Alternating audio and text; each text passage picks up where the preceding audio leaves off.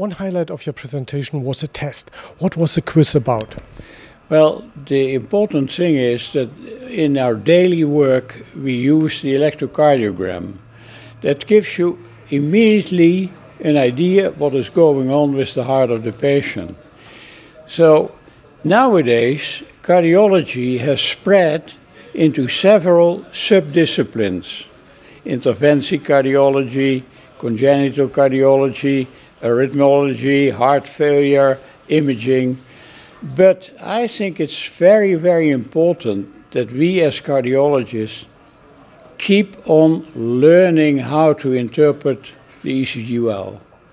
And I saw that also here it's not a bad idea to give courses about the electrocardiogram. How was the result of the Munich audience? Uh, I think the, the whole meeting here was an excellent meeting. And I have the feeling that the people here that attended, they were enjoying what they were seeing and hearing.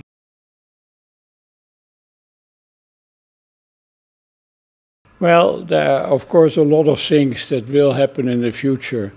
We will spend a lot of time in finding out whether genetic passport of a person can help us in finding out is this a person who will develop a problem as far as the heart function is concerned and is it possible to prevent that? That's a very important point.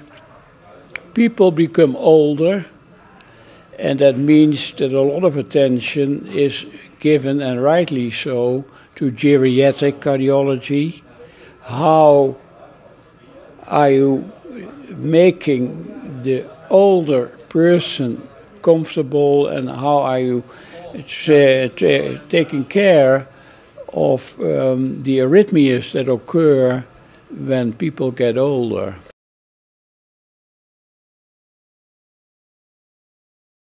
Well, uh, hopefully in the future, but, but that is certainly not the case yet.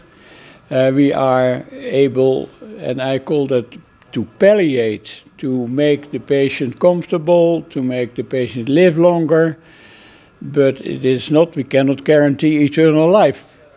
That is for sure. And I think that maybe the, a lot of genetic information will be helpful in making us live longer and in better shape.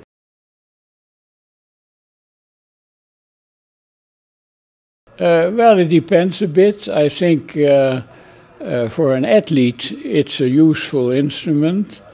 Um, for the ordinary person, um, well, it can give you an idea whether the rhythm is perfectly regular or whether you have abnormalities of the rhythm, like in atrial fibrillation.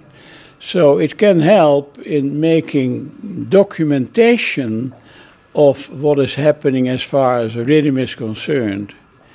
And nowadays you have the ability of these instruments that the transmit they transmit the information to a person who is knowledgeable and who can interpret it. Yeah.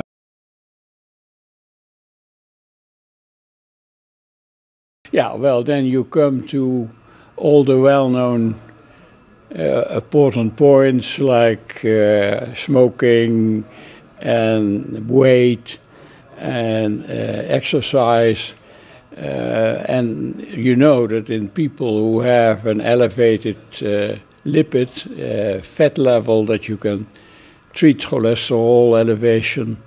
So it's important that you look for the presence of high blood pressure and you treat that. So these are all uh, things that can be of help in making us live longer and better.